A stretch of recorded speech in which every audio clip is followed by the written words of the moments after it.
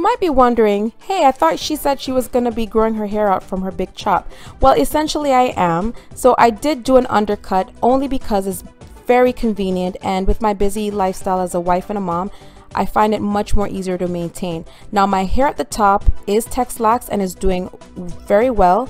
Um, I must say that it's grown a lot. So I have about three to four inches of uh, new growth and the hair is much more healthier. So I will be growing out my hair at the top while maintaining the undercut for now.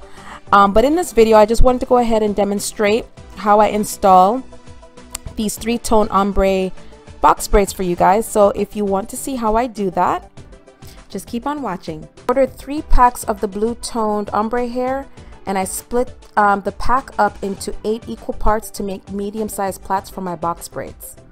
I just completed the back. The back was really hard for me because um, my hair is still growing. It's not long enough where I can like grip it easily. So um, yeah, so I finished the back um, with a bit of a struggle. Um, you know, just making sure I grip it tight enough to my scalp, things like that. Um, I have 12 more of um, these braids to put in and I found it easier to section them off by using um, the rubber bands and I just use these little rubber bands. They're like 99 cents at the 99 cent store or the dollar store or any hair supply store and I just put them in my hair just to section off my hair to make it easier and faster for me to go ahead and um, you know to install the braids. I have a bit of an issue though. Um, I only ordered three packs of this ombre hair, but then um, I think I'm gonna be running out of this color. So it might look jacked up, but I'm gonna try it anyway. I have a separate pack of hair in a different green tone color. I'm just gonna try to fill it in into, into the center and then use the blue ombre towards the front. It is recommended to do the apple cider vinegar rinse on braiding hair to uh, lessen the um, irritation on your scalp from the uh, chemicals on the hair. But for this uh, time I didn't do it because I wanted to just to save some time. However, I'm just going to go ahead and talk about the hair real quickly.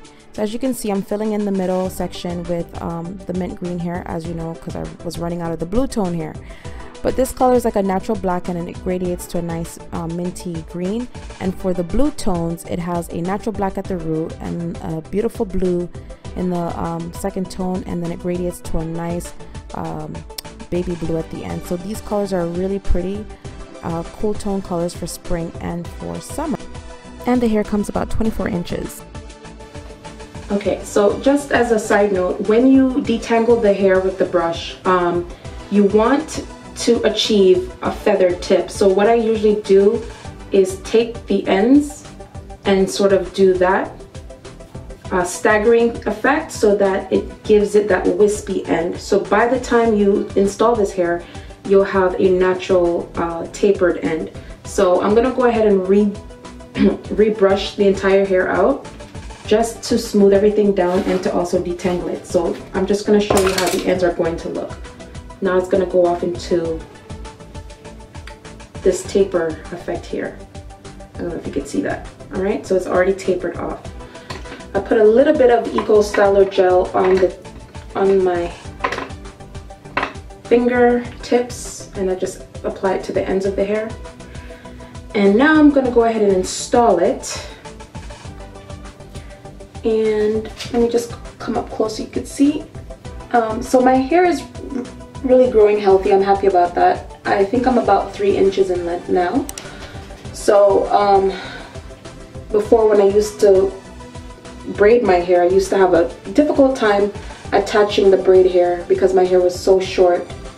But it's it's been growing, so I'm, I'm very happy about being able to grab my hair better now with the, it progressively growing um, longer and healthier, so that's a good thing. So here I am um, just braiding this in. Now, I haven't borrowed any of the braiding here yet, but I'm gonna go ahead and do so at this rotation. So I'm gonna go ahead and borrow some of the hair and intertwine it with my hair. And I'm just gonna continue to braid this down.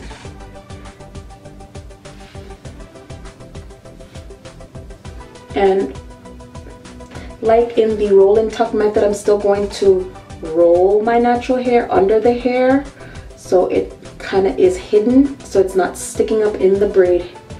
Um, you don't want that sticking up effect in the hair. So I'm just, again, see, some, here's my natural hair. There's that stick up. I'm gonna tuck this under, rolling it under the braid hair and tucking it under so it's hidden. And I'm just gonna continue to braid all of that hair down. Now we don't know where tomorrow might bring Got the future the hours away So me I live my life today Me I live my life today Yeah oh, oh. Me love my life oh, oh. Me love my life oh, oh. Me love my life So me I live my life Excess hair, the stringy hair, I'm just going to razor it off, pre-dipping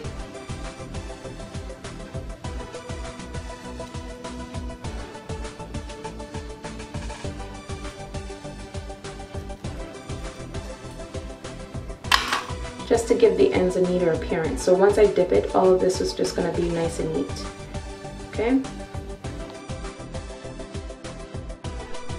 So I usually put a tip of oil in the um, boiling water just to um, add some sheen and shine to the ends of the hair while dipping and it really does help to smooth everything down nice and neatly. And as you can see I use my, my rag and I just um, pull the hair down so everything can be nice and straight at the ends.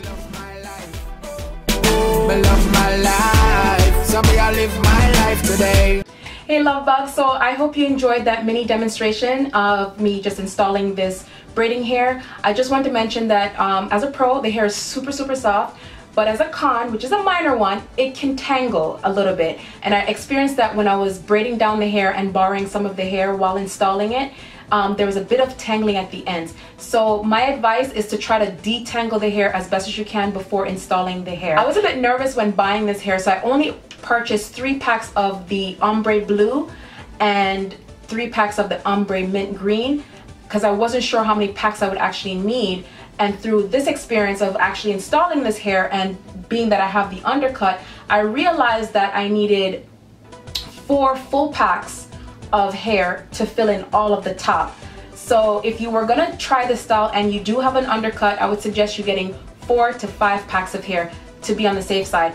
If you're doing a full head, you should get about eight to nine packs of this ombre hair and that will be enough for you to complete you know your style this hair is super affordable i will leave all the information of where i purchased this hair online for you guys i love the hair so much i ended up um, doing this kind of look for my girlfriend um, and she was she was in it. She was like yeah I want that unicorn mermaid look in my hair. So she ended up doing something with the lavender and the pink and it was really pretty on her. So I'll probably show you some pictures of her uh, hair. And she has she has that biracial very nice curly hair. So uh, I had a bit of problem uh, installing it in her hair because her, her hair texture is a lot more silkier so I had to really grip it tight enough so that the hair is not going to fall out. So I'll show you a picture of her hair somewhere over here just to see what the mermaid pink lavender color would look like. So it's going to be somewhere over here. So if you enjoyed this video,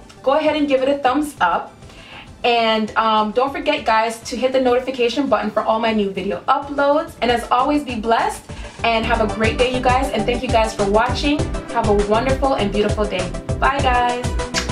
Jesus came for the sick. So true. Jesus came for the weak. Amen. Jesus came to give good news and to set the captives free. Amen. Listen, Jesus came for the poor. Amen. Jesus came with the keys. Amen. Jesus came to remove the chains so the prisoners Everybody's got unfailing love, unfailing love. It's not too late. Start over.